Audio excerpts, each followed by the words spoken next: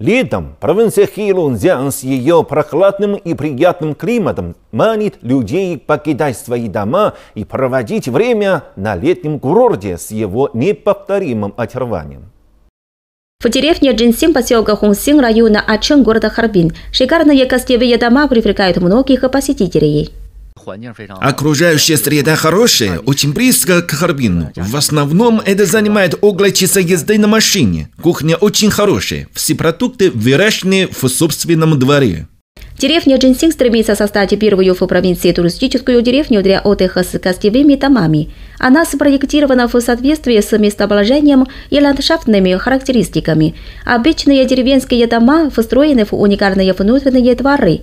В этом году летом горная усадьба Лунхун, гостевые дома Буфа, Кестхаус, Сунфэншань и многие другие расположенные в районе Ачен города Харбин стали популярными местами для загородных туров. В усадьбе Волга на окраине Харбина дует свежий ветерок, а зеленые деревья отбрасывают тени. Церковь Святого Николая, Бухда Поседона и лесное ипподром позволяют туристам ощутить местную экзотическую атмосферу. Здесь прохладнее, чем в провинции Хуннан. Это хорошее место, где можно спастись от жары. Пейзаж красивый, все здания построены в русском стиле. Знакомим детей с культурным наследием Харбина, а также с событиями. Здесь дети могут пообщаться с маленькими животными. Во время летних каникул будет открыт завершенный проект круиза по парку Волжской усадьбы. Посетители смогут испытать удовольствие от рыбалки и рафтинга по воде.